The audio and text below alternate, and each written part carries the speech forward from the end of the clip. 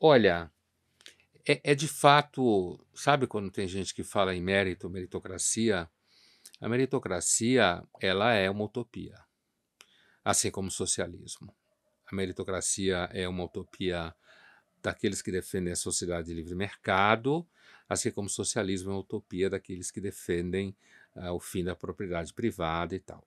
No caso da, da, do ideal da, da, utopia da meritocracia, que seria o oposto né, de alguém se dar bem, seja no reality show, ou seja numa empresa, alguém se dá bem porque a pessoa sabe mentir melhor, sabe puxar saco, né, melhor dos chefes, e de repente ela se dá melhor do que alguém uh, que demonstra virtudes, né? Inclusive virtudes no sentido de disciplina, trabalho, honestidade, e, e o outro se dá melhor, o picareta, digamos assim.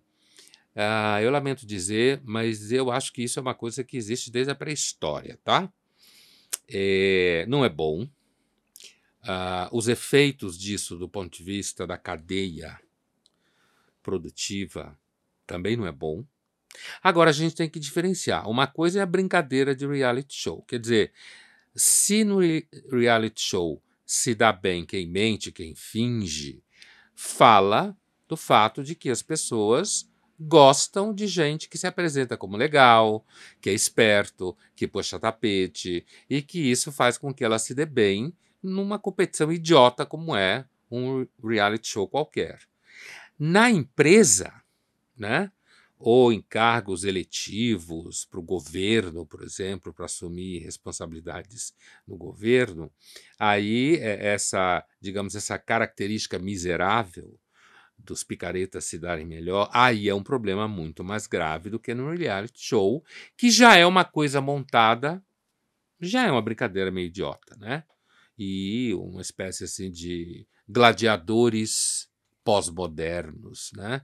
em que as pessoas ficam assistindo eles se baterem, como os romanos vinham os gladiadores se baterem no passado. Agora, no campo do trabalho, especificamente, que também acontece, isso de fato é uma tragédia.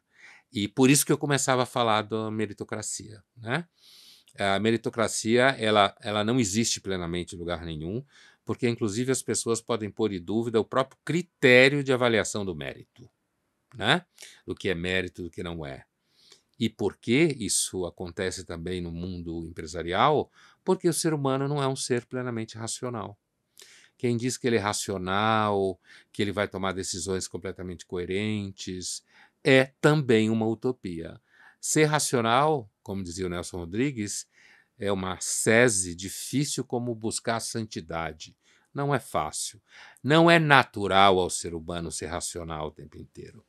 E isso afeta, inclusive, o campo do trabalho e, portanto, nós estamos sempre aquém da competência que a gente poderia ter por conta desse traço da natureza humana.